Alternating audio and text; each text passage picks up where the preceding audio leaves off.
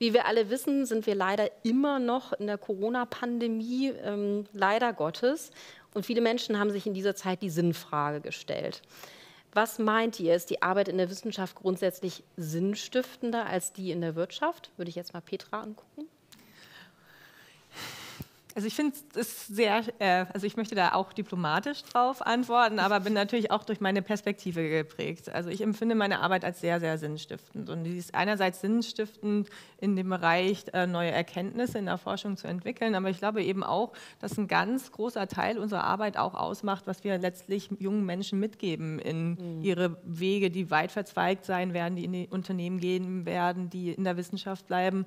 Und ich glaube, das ist ein Beitrag, äh, den man vielleicht vielleicht dann nicht letztlich in Produkten oder wenn man jetzt beim anderen Thema Anwendung messen kann, sondern ich glaube, das ist äh, eine Sache, die eben noch ein ganz anderer, also gar nicht so quantifizierbar ist, ähm, aber die mir sehr, sehr viel Sinn gibt. Also ich finde die Arbeit an der Universität, und das ist auch einer der Gründe, warum ich mich für diese Karriere entschieden habe, sehr, sehr sinnstiftend. Mhm. Also, es, also es macht mich sehr glücklich. Ich finde die Interaktion auch mit Studierenden toll, mit Promovierenden, ähm, ja, sehen, wie die Leute sich weiterentwickeln, wo die hingehen.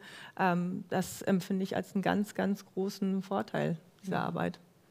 Es hängt mit Sicherheit sehr, sehr stark am Unternehmen ab. Also es gibt mit Sicherheit viele Unternehmen, in denen ist man das sogenannte kleine Rädchen irgendwo mhm. ohne besonders viel Einfluss. Ähm, für mich persönlich war es immer etwas, was sehr wichtig, dass ich halt wirklich direkt auch einen Einfluss merke und, und sehe, was ich da mache. Also ich war vor, bevor ich bei Quantilope quasi ein Startup angefangen habe, in der Beratung, wo man eben auch die Möglichkeit hat, relativ schnell eben auch zu sehen, mhm. was da passiert.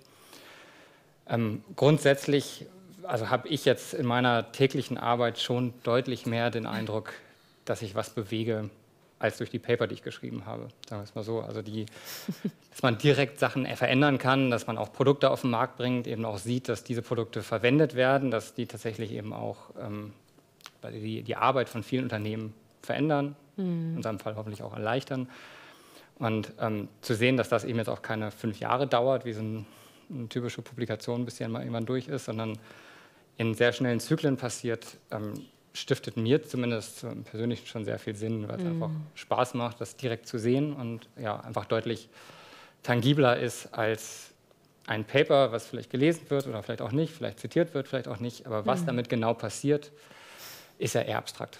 Sehr abstrakt, ja, absolut. Vielleicht, um das, das zu ergänzen, also die, aus meiner Sicht hat dieser Impact äh, zwei Komponenten. Zum einen, je kleiner die Einheit ist, in der man unterwegs ist, desto mehr kann man persönlich äh, mhm. erreichen und je höher die Dynamik ist. Ne? Das ja. heißt also, wenn ich jetzt ein Startup habe, das ist natürlich viel wichtiger, ob ich performe als einzelner Mensch, genauso wie bei einer Uni, die gerade gegründet wird oder auch vielleicht bei einer neuen Einheit äh, in einem Großunternehmen, was, was aufgesetzt wird. Also was ich, E-Commerce oder jetzt neue, neue äh, erneuerbare Energien. Das heißt also, äh, ich würde Studenten immer empfehlen, geht irgendwo hin, wo Wachstum ist und wo ihr eine kleine Einheit habt und dann da ist immer noch die Möglichkeit, auch im Team irgendwie erfolgreich zu sein. Während wenn man in so einem Bereich ist, wo mhm. es stagniert oder schrumpft, da kämpft man immer mehr gegen die anderen, als dass man irgendwie gemeinsam an, an einem Strang ja. zieht. Und ja. das ist auch egal, ob das jetzt Wirtschaft oder Wissenschaft ist. Also es gibt mhm. ja auch stagnierende Fächer oder auch stagnierende Unis.